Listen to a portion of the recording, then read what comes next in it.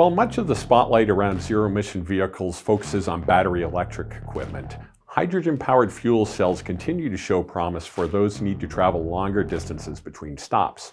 Think of a Class 8 truck that can travel closer to 800 kilometers when it's fully fueled. But how do they work? Who are the players? What are some of the operational considerations? We're about to explore these issues and more. I'm John G. Smith of TruckNews.com, and this is Truck Trends.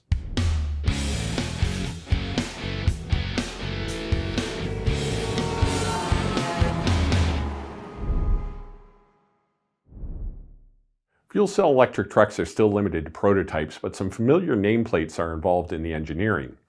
Daimler and Volvo, competitors by every other measure, joined forces to commercialize the underlying tech in a venture known as Cellcentric.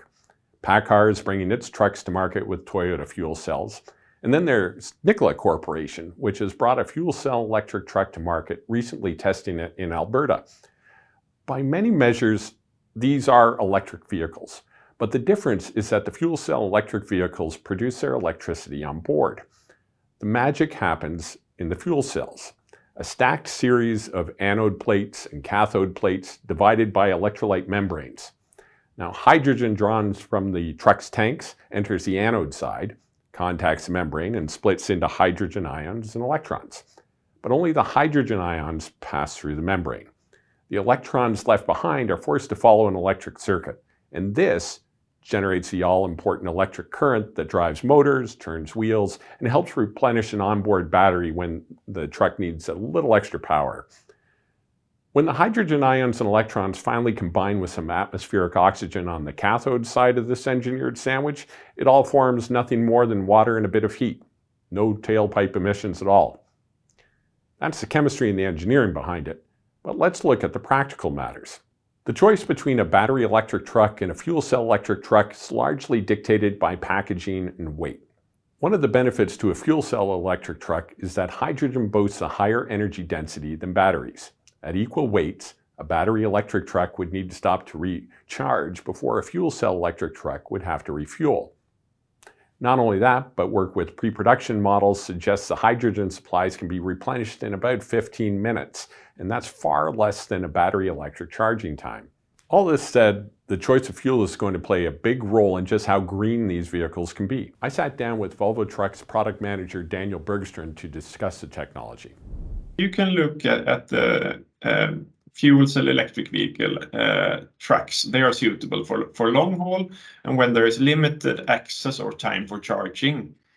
And refueling, that will occur at the dispensing station. And to start with, uh, at least it will be gaseous hydrogen, uh, which is compressed and filled into the hydrogen tanks of the vehicle.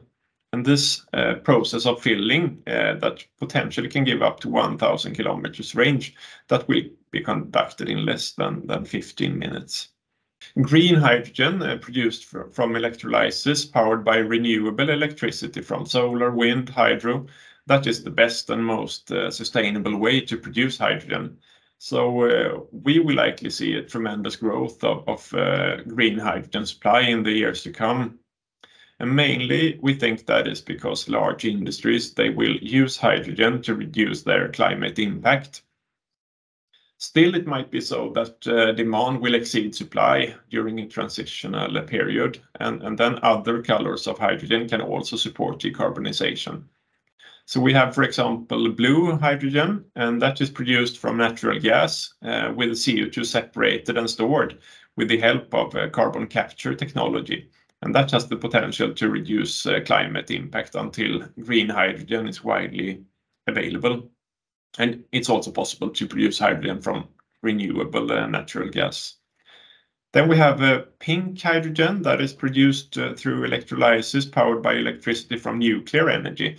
And that also has uh, some good decarbonization potential, and so does other colors of hydrogen as well.